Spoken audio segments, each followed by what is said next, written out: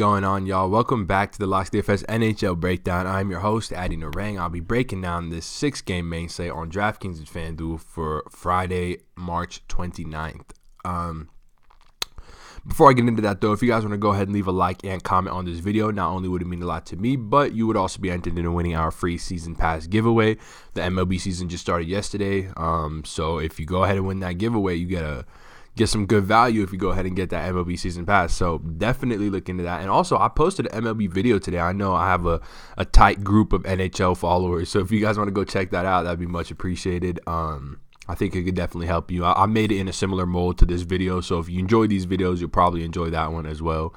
Um, but with that being said, let's get into this slate. So six game slate, few teams in a great spot, few teams on a back to back. Um, but uh, definitely a bunch of spots that we can. Uh, let's see, MLB is back. People are excited, but all right, let me get into this. A bunch of spots that we can definitely target on this slate. So starting where we usually start at high price center, uh, my top option again is going to be Nathan MacKinnon uh, leading the way at center for the Colorado Avalanche. So he has a great matchup versus the Arizona Coyotes, uh, um, who are playing in Colorado. Obviously, we know Colorado at home is a much better hockey team than Colorado on the road. Similar with all Colorado sports, really. The Nuggets at home, the Rockies at home. Um, Colorado teams just do better at altitude, I suppose. So uh, but anyways, Arizona allowing the sixth most high danger chances against per 60 at 12.77. Uh, great spot for Colorado to just take advantage of them on the power play or on uh, 5v5 and on the power play where they rank in the bottom 10 in the penalty kill. Um, the news for out of Colorado right now is that Gabriel Landeskog is due back, um, and so I'm assuming he'll slot in somewhere on this first line. Um, although they've been having success with it, we could see someone like JT Compher drop off to the second line. Um, but Colorado has a plethora of guys who who play center naturally, but can also play the wing. Like Kerfoot and Compher are probably natural centers, uh, but they just so happen to be able to play the wing as well. Um, and this line's been having success. They've been giving it up defensively a little bit, but offensively they've been generating a bunch of chances. Um, and I think that's coming on the backs of Nathan MacKinnon taking on an increased shooting role.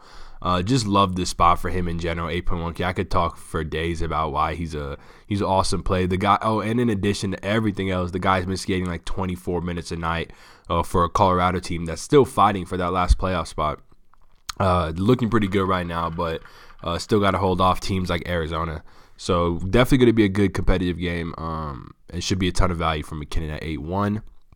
Scrolling down a bit farther, Calgary put together their uh, their first line. I, I, don't know if you guys remember last game. They switched it up. They had Derek Ryan centering Gaudreau and Monahan on the third line with James Neal, and it didn't work at all. Um, they lost to the Stars 2 1. So they went back to their usual Calgary one line, which is just the dominant line that has been all season. Gaudreau, Monahan, Lindholm. Uh, Monahan at 6'4 is just a bit too cheap uh, for that role, so I'd love getting exposure to Calgary 1 through him. Uh, Elias Lindholm is also quite cheap. Um, and then if we scroll down a little bit farther, um, not too much in the real cheap value range, but I do like this price on Nico Hischier at 5.3K. We're seeing some reverse line movement come in on New Jersey. They open at 2.6. Uh, an implied team total of 2.6, received about 50% of the bets, and they moved from plus 122 to minus 105 on the money line. Uh, decent reverse line movement. That's mainly because Detroit I mean, they're the worst team in the league, high danger chances against per 60. But this New Jersey team struggles to generate chances in its own right, ranking 30th in high danger chances for per 60. So, kind of like a, a, a, a weird spot to target. But um, I just think a lot of these New Jersey guys are underpriced. Hischier skating on that top line with um, Kyle Palmieri and Kenny Agostino. You can stack that line for super cheap. You could pick one or the other.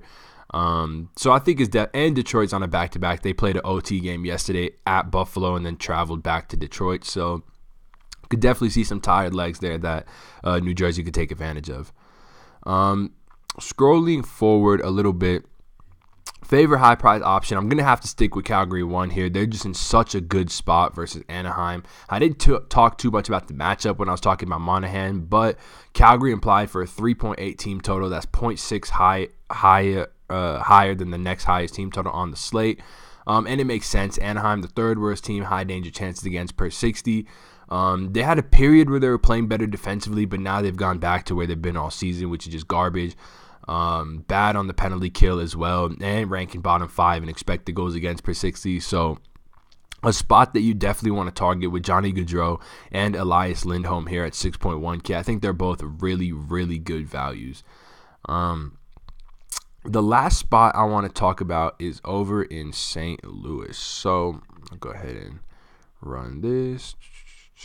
So we have our uh, standard St. Louis one line: O'Reilly, Tarasenko, Schenn, and Brayden Schenn is fairly underpriced for that uh, for that role. 5.3K, skating on the first line, first team power play time as well.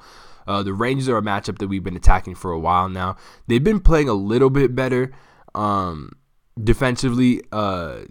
Just from watching them, but the numbers don't reflect it. 14.92 high danger chances against per 60. That's second worst on the slate and still bottom five expected goals against per 60. And the spot that you really can target them is on the penalty kill where they rank uh, in the bottom six as well. I believe they're the sixth worst penalty kill in the league. Um, so definitely a spot to look towards for uh, some value with some uh, with some Brayden Schenn on that St. Louis one line. And then if you do want to scroll down a bit farther, uh, I just got to mention Alexander Kerfoot here at 3.8K. Gabriel Landeskog, as I said, expected back, so he will probably bump one of them off the first line.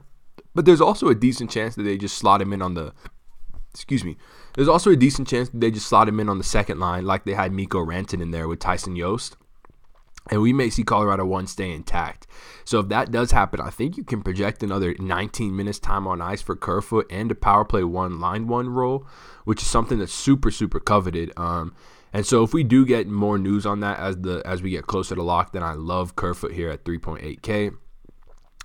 Um, and that'll probably do it for wingers. So let's go ahead and move on to defense, where my favorite top price option. We're going right back to Calgary.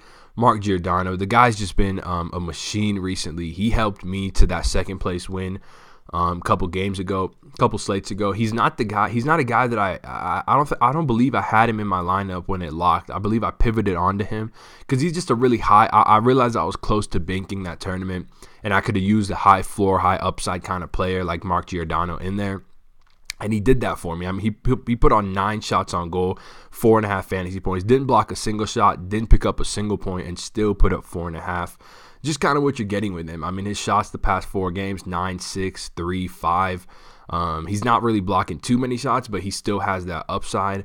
Um, he's going to skate 25 minutes time on ice. An elite matchup versus Anaheim correlates really, really well with the rest of Calgary, especially Calgary 1. Definitely a guy that uh, I think you want ample exposure to on this slate. Um, and then scrolling down a bit farther, the last guy I wanted to talk about, where did he go? Let me just pull it up here. So it was Damon Severson and Will Butcher. Both these guys, Sami Vatanen doesn't look like he's going to play in this game, um, which creates a, uh, a minutes role for these two guys. So Severson skating on the first unit power play with Hischier, Palmieri, Zajac, Coleman. Um, and then Butcher is manning the second unit power play with Agostino, Zacha, Stafford, and Wood. Uh, both spots that I think you can target. I think we could see both guys push, uh, or I think we could see Butcher push 20 minutes time on ice. Severson probably in his usual 25 minute role. With Vatanen out, could definitely be higher. Um, but a great spot versus them or for them versus a Detroit team, as I mentioned, giving up the most high danger chances against per 60 on the road. I mean, on the over the last 10 games. And then in addition to that, um, they're playing on a road back to back. So, not an ideal situation if you're Detroit, um, and a real good situation to take advantage of uh, if you're New Jersey. And then lastly, uh, scrolling down even farther, another guy that helped me on my uh, to take second place in that tournament was Rasmus Andersson. Here, he's been skating consistent minutes time on ice, about 17 to 20 minutes. Um, he's 2.7k and he's got a, a sizable role on the second unit power play. And they even switched it up a little bit and had him and Giordano man the same power play unit at one point when I was watching that game, which would definitely be a massive boost to his value if that were to hold.